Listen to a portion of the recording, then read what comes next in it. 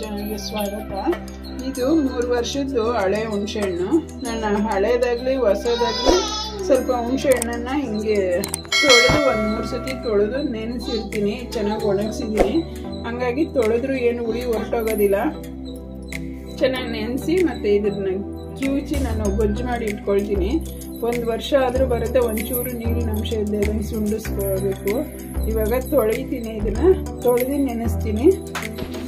One hour ನೆನೆಸ್ತೀನಿ ಚೆನ್ನಾಗಿ ಬಿಡ್ಬೇಕಿದು ಇವಾಗ ತೊಳಿತೀನಿ ಒಂದು ಎರಡು ಮೂರು ಸರಿ ತೊಳಿತೀನಿ. ಒಗ್ಗರೆಗೆ ಮತ್ತು ಸಾಂಬಾರ್ಗೆ ಎಲ್ಲದಕ್ಕೂ ಯೂಸ್ ಮಾಡ್ಕೋಬೋದು. ತೊಳೆದ್ಬಿಟ್ಟು ಚೆನ್ನಾಗಿ ಗೊಜ್ಜನ್ನು ರೆಡಿ ಮಾಡಿ ಇಟ್ಕೋಬೇಕು. ಅದು ಮೂರು ವರ್ಷ, ನಾಲ್ಕು ವರ್ಷದ ಹುಣಸೆಹಣ್ಣೆಲ್ಲ ಸಿಗೋದೇ ಇಲ್ಲ. ಅಂಥದ್ರಲ್ಲಿ ನಾವು ಮದುವೆಗೆ ತಗೊಂಡಿದ್ವಿ ಹಾಗಾಗಿ ಇತ್ತು ಮೇಲ್ಗಡೆ ಇತ್ತು. ನಾನು ನೋಡಿರಲಿಲ್ಲ ಮತ್ತೆ ನಾನು ಹುಣಸೆಹಣ್ಣು ಯಾವಾಗಲೂ ಇದನ್ನ ಎತ್ಕೊಂಡು ಹೊಸ್ದಾಗಿ ಹೊಸ್ದಾಗಿ ಬಳಸಲ್ಲ ಗೊಜ್ಜು ಮಾಡಿ ಇಟ್ಕೊಳ್ತೀನಿ. ಯಾವುದೇ ರೀತಿ ಎಷ್ಟೆಷ್ಟು ಬೇಕು ಅಷ್ಟೊಂದು ಸ್ಪೂನು ಅರ್ಧ ಸ್ಪೂನು ಆ ಥರ ಬರುತ್ತೆ ಎರಡು ಸರಿ ಕೊಡುತ್ತೆ ಓದಿ ಹೊರಗೆ ಹೋಗ್ತೀವಿ ಉಳಿಯೋ ಅಂಶ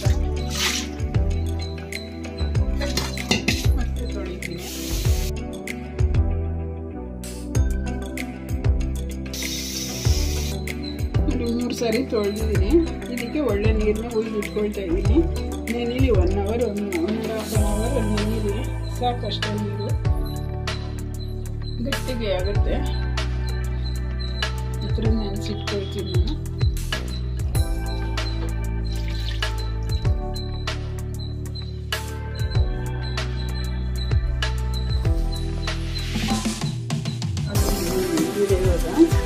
ಇದೆ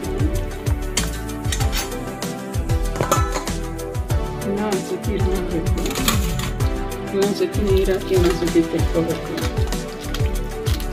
ಆದಷ್ಟು ನೀರು ಥರ ತೆಗಿಬಾರ್ದು ಈ ಥರ ಗಟ್ಟಿಗೆನೆ ತೆಕ್ಕೋಬೇಕು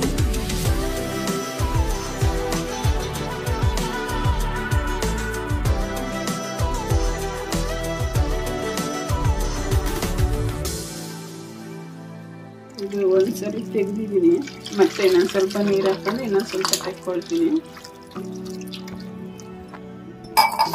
ನೋಡಿ ಇದು ಈ ಥರ ಇದೆ.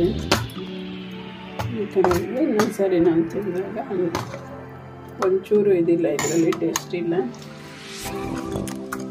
ಇನ್ನೊಂದು ಸ್ವಲ್ಪ ನೀರು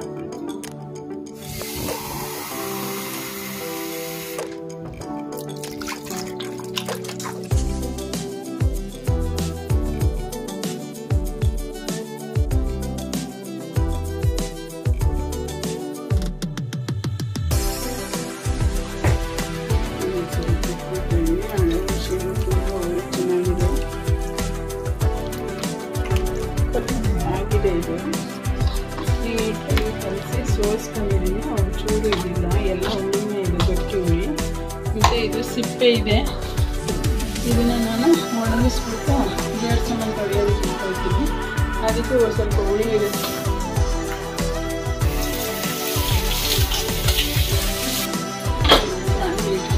ಡ್ರೈ ಆಗಿದೆ. ಎಣ್ಣೆ ಹಾಕ್ತೀನಿ ನಾನು. ಒಂದು ಆರೇಳು ಸ್ಪೂನ್ ಎಣ್ಣೆ ಹಾಕಿದ್ದೀನಿ. ಅದೇನು ಎಣ್ಣೆ ಮತ್ತೆ ಕುದಿದ ಮೇಲೆ ಸೈಡ್ಗೆ ಬರುತ್ತೆ. ಹಸಿವೆ ಹಾಕ್ತಾಯಿದ್ದೀನಿ ಒಂದು ಚಮಚ ಇದು ಎಣ್ಣೆ ಕಾಯ್ದಿದೆ ಅನ್ನ ಇದಕ್ಕೋಸ್ಕರ ಸಾಸಿವೆ ಒಂದೇ ಒಂದು ಸ್ವಲ್ಪ ಜೀರಿಗೆ ಹಾಕ್ತೀನಿ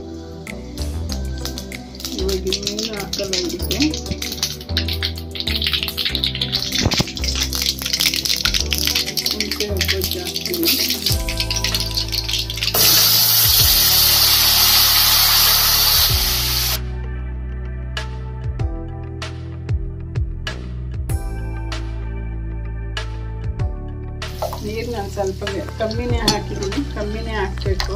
ಇಲ್ಲಾಂದರೆ ಕುದಿದು ಗಟ್ಟಿಗಾಗೋದು, ಸ್ವಲ್ಪ ಟೈಮ್ ತಗೊಳುತ್ತೆ. ಹಾಗಾಗಿ ನೀರು ಸ್ವಲ್ಪನೇ ಹಾಕಿದ್ದೀನಿ ನೋಡಿ, ಇದು ಎಣ್ಣೆನ ಹೊಂದ್ಕೊಳ್ಳೋದೇ ಇಲ್ಲ. ಕುದಿದ ಮೇಲೂ ಅಷ್ಟೇ ಹೊಂದ್ಕೊಳ್ಳೋದೇ ಇಲ್ಲ. ಕೆಲವರು ಇದೇನು ಮತ್ತೆ ನಾವು ಅವಾಗ ಮಾಡ್ಕೋಬೋದು ಮಾಡ್ಕೊಬೋದು. ಚೂರು ಚೂರು ಕಲಸಿ ಅಂತ ಅನಿಸುತ್ತೆ ಫಸ್ಟು ಆದರೆ ಇದನ್ನು ಮಾಡಿ ನಾವು ಸ್ಟೋರೇಜ್ ಮಾಡ್ಕೊಂಡು ಬಳಸ್ತೀವಲ್ಲ, ಆ ಉಪಯೋಗ ನೋಡಿದ್ರೆ ನೆಕ್ಸ್ಟು ನಾವು ಇದೇ ಥರ ಮಾಡಿ ಇಟ್ಕೋಬೇಕು ಅನಿಸುತ್ತೆ. ಪುಳಿಯೋಗರೆಗೆ ಇದನ್ನು ಒಂದು ಸ್ವಲ್ಪ ಗೊಜ್ಜಾಕ್ಬಿಟ್ಟು ಅದನ್ನು ಪೌಡರು ಹಾಗೆ ಹಾಕ್ಬಿಟ್ಟು ಒಗ್ಗರಣೆ ಮಾಡಿ ಮಿಕ್ಸ್ ಮಾಡ್ಕೊಂಡ್ರೆ ಸಾಕು. ಬಿಸಿ ಅನ್ನಕ್ಕೆ ಇದು ಗೊಜ್ಜು ಹಾಕ್ಬಿಟ್ಟು ಪೌಡ್ರು ನಾನು ಮನೆಯಲ್ಲೇ ಮಾಡ್ಕೊಂಡಿರ್ತೀನಿ ಅದನ್ನು ಹಾಕಿ ಒಗ್ಗರಣೆ ಮಾಡ್ಕೊಳ್ತೀನಿ. ಸ್ವಲ್ಪ ಅರಶಿನ ಪುಡಿ ಹಾಕ್ತಿದ್ದೀನಿ.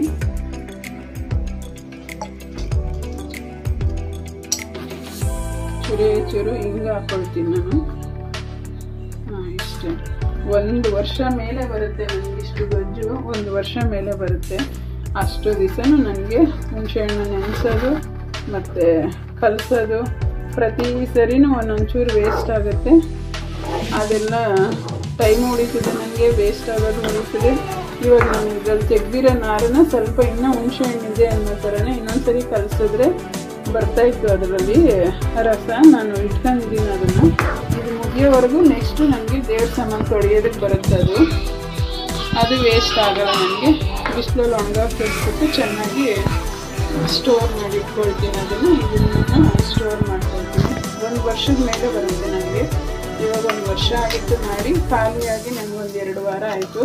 ನಾನು ದಿನ ಹುಣಸೆಹಣ್ಣು ಕಲಿಸ್ಕೊಳ್ಳೋದಕ್ಕೆ ಒಂಥರ ಮುಜುಗರ ಆಯಿತು ಟೈಮು ಅದಕ್ಕೆ ಇವತ್ತು ಮಾಡ್ತಾಯಿದ್ದೀನಿ ನಾನು. ಪುಳಿಯೋಗರೆಗೆ ಹುಣ್ಸೆಹಣ್ಣು ಚಿತ್ರಾನ್ನಕ್ಕೆ ಮತ್ತು ಸೊಪ್ಪು ಸಾರು ಬೇಳೆ ಸಾರು ನೀವು ಯಾವುದಕ್ಕಾದರೂ ಉಪಯೋಗಿಸ್ಕೋಬೋದು.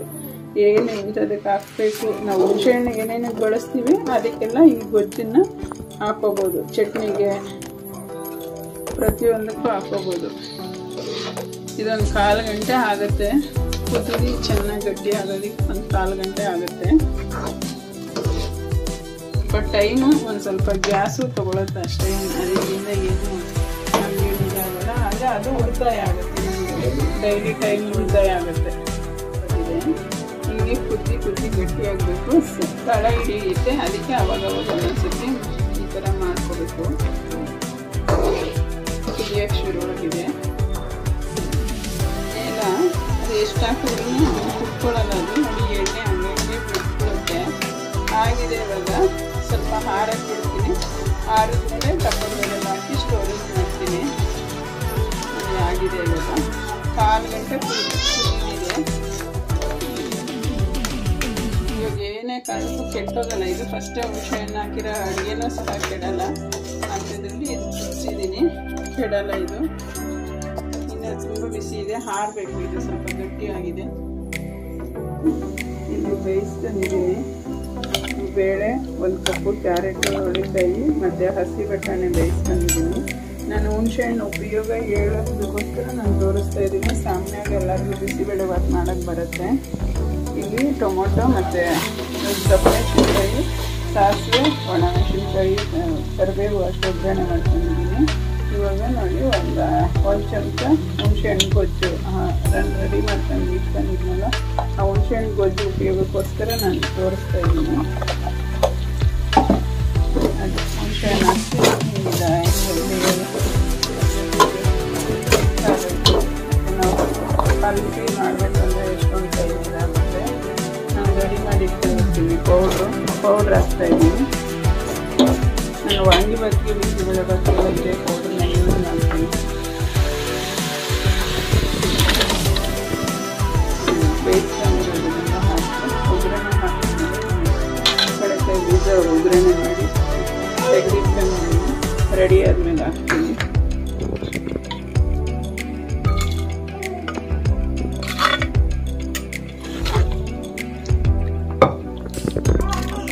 ಗೊಜ್ಜು ಮಾಡಿಟ್ಟಿದ್ನಲ್ಲ ಅದನ್ನ ಯಾವ್ದ್ಯಾವ್ದಕ್ಕೆ ಈಸಿಯಾಗಿ ಬಳಸ್ಕೋಬೋದು ಅಂತ ಅನ್ನೋದಕ್ಕೆ ನಾನು ಈ ವಿಡಿಯೋನ ತೋರಿಸ್ತಾ ಇದ್ದೀನಿ. ನಾನು ಬೇಳೆ ತರಕಾರಿ, ಬಟಾಣಿ ಬೇರೆ ಬೇಯಿಸ್ಕೊಳ್ತೀನಿ. ಅನ್ನನೇ ಬೇರೆ ಕೂಗಿಸ್ಕೊಳ್ತೀನಿ. ನಾನು ಸೊಸೈಟಿ ಅಕ್ಕಿನೇ ಮಾಡಿದ್ದೀನಿ. ನಾನು ಜಾಸ್ತಿ ಪೊಂಗಲ್ಲು ಮತ್ತು ಈ ಥರದ್ದಿಗೆಲ್ಲ ನಾನು ಸೊಸೈಟಿ ಅಕ್ಕಿನೇ ಜಾಸ್ತಿ ಬಳಸ್ಕೊಳ್ತೀನಿ. ನೋಡಿ, ಇದು ಕಡಲೆಕಾಯಿ ಬೀಜ.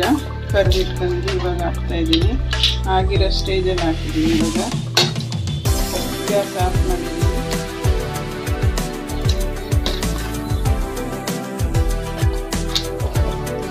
ಇಲ್ಲಾಂದ್ರೆ ಹೇಗೇಗೋ ಬರ್ತಾಯಿತ್ತು ಒಂಥರ ಸ್ಮೆಲ್ಲೆಲ್ಲ ಬರ್ತಾಯಿತ್ತು ಅಕ್ಕಿ ಮುದ್ದು ಥರ ಬರ್ತಿತ್ತು. ಸೊಸೈಟಿ ಅಕ್ಕಿ ಇವಾಗ ತುಂಬ ಚೆನ್ನಾಗಿ ಬರುತ್ತೆ.